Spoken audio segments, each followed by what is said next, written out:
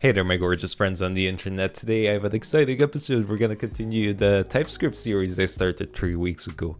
Haven't forgot about it, okay, I promise. Uh, I, I really wanted to make the series and continue the series. It's because when I learned TypeScript, I just learned it in such a messy way. I stumbled my head, I hit, I tripped over. I started with generics. Who, who learns TypeScript with generics as the first thing to learn? Like that's not okay. So I'm trying to make the series like as simple as possible to like really understand. Hey, like why is this uh, useful? You know. So YouTubers talk too much. Let's just get into it. So the first episode we learned a bit about types and how TypeScript can help us in our code base to catch errors. In this episode I want to focus a bit more on literal types, collective types, and understanding type narrowing and widening and why that's important. So I think it's a... We'll try to keep it as simple as possible, okay? I promise. So here we go. So let's say we have a user, okay, and this user is called develop by it. Go. Okay, so what what's the type of this? TypeScript is automatically gonna look at this code and it's gonna say, okay, by what you wrote here, I can tell that this is a type of string. Now, string is a collective type, just like Boolean, that's a collective type as well. Why? Well, because Boolean can be false or true. A string, the reason why this is a collective type is because strings can have different values. It can look like that, it can look like this, and it can look like that, okay? Uh, whereas a literal type, you're gonna hear that literal type, it literally means that it's that literal value that you see right there. So if I do const, if I do const this time, we know that constants don't change. Scooby-Doo makes its way into a TypeScript video, who would have guessed? As you can see, so it's not a type, so it's not just a type of string now, it's like really down specifically to this only value. And that's why when you use constants, you always get a literal type here. Well, not always actually, I'll show you why.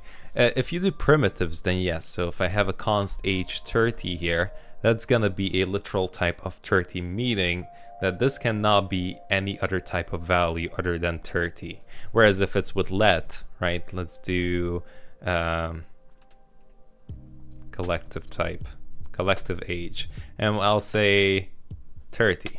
As you can see, this is number, so number can be, again, it's a wider range. So now hope you understand the difference with let and const. Let is going to accept a wider range of types and const is going to accept the only, basically the only one that's left, which is the exact type, the literal type. What about objects? What if I have a user like that and that has a name and an age and an ID of one here? Um, what, what are these types? Is it literal types? It's not. Like, TypeScript is going to try to find like a balance between like what kind of types it puts on the on these key value pairs and in this case, it's gonna use a wider type, which is gonna be, it's just gonna put string for this uh, and number and number again, okay? So I can do user dot name equals to Jane, right? That works fine.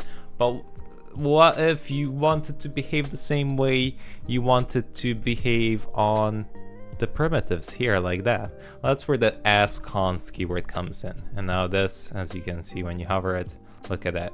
Now it's all literal types. Okay, so now user dot like name equals Jane. Uh-oh, spaghettio.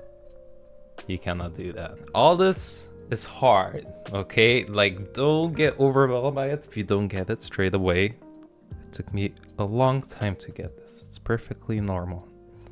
Um, is there anything else I want to show you? Yeah, so, okay, so it's all like, this is like more theory stuff, right? But like, how does it actually like look in the real world?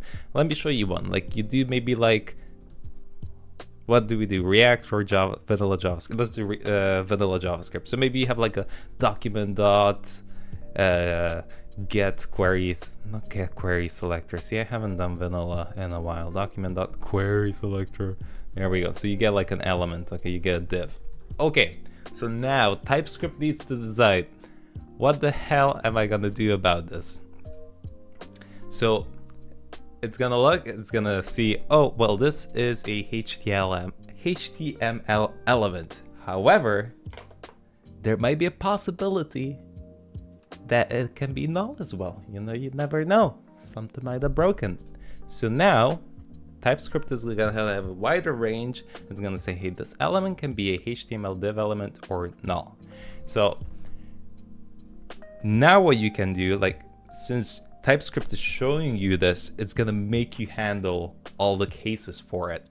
So if, if you wouldn't have TypeScript, you just probably do like, oh, element dot add event listener, or like, I'll change the text of this to blah, blah, blah, whatever, okay? But what if this element is, you know, not here? Then this thing would error out, right?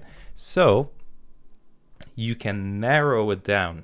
So this is called type narrowing, is where you have something that can be multiple different types of types, right? Maybe you're doing a request from a database. It can be a type of error, it can be a type of success, it can be a type of whatnot. So that's why I can do something like this. If there's no element, well then I can handle this case any way I want, okay?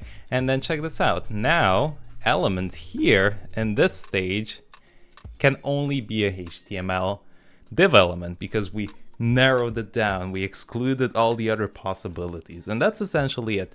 I'm going to talk more about this in the full stack Next.js course that's coming out.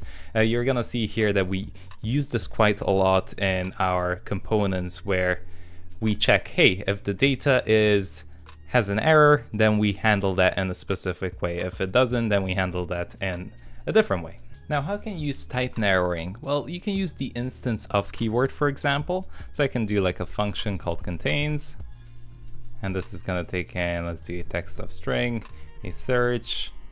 I'll do string here, but it could also be a type of a reg, reg, reg, regex. So here right now, search is a type of string or regexp, right? So what I can do is say if search is an instance of, oh, there it is, auto completed for me, uh, regexp, right? Then here, search is gonna be the only type of regexp. Okay, so we handle the case here. And then here else, you can return whatever, like that, okay?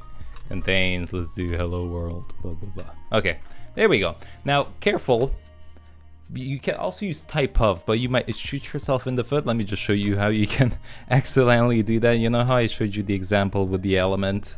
So we have, let's say, document dot query selector will get a div, okay?